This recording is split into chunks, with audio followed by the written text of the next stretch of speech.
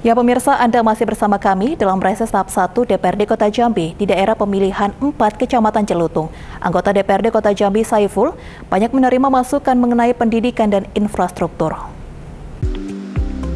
Jumat 3 Maret 2023 malam, anggota DPRD Kota Jambi Saiful menggelar kegiatan reses tahap 1 Kecamatan Celutung. Dalam kegiatan reses kali ini, masyarakat banyak menyampaikan mengenai infrastruktur, Kemudian, masyarakat sekitar juga memberikan masukan kepada anggota DPRD Kota Jambi tersebut mengenai persoalan pendidikan. Dalam kesempatan tersebut, Saiful menyampaikan bahwa dirinya selaku anggota DPRD Kota Jambi akan memperjuangkan aspirasi masyarakat di dalam kegiatan DPRD nantinya dan akan segera merealisasikan masukan masyarakat tersebut. Turun menyapa masyarakat, kita akan melihat apa yang memang masyarakat butuhkan lagi terhadap uh, khususnya pemerintah Kota Jambi.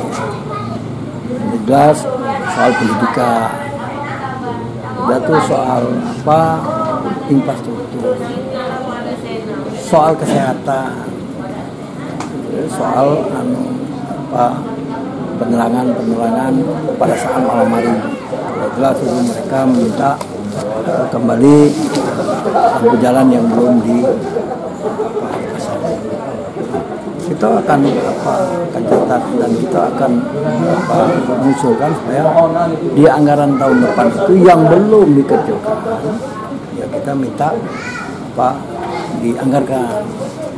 Minta juga pemerintah memperhatikan khususnya kota RI memperhatikan mana-mana jalan yang masih belum diperbaiki kami anggota dewan khususnya di badan anggaran nanti akan memprioritaskan yang masih apa belum dijamah yang belum masih dikerjakan. Maka kita akan akan usulkan itu nanti ke depan.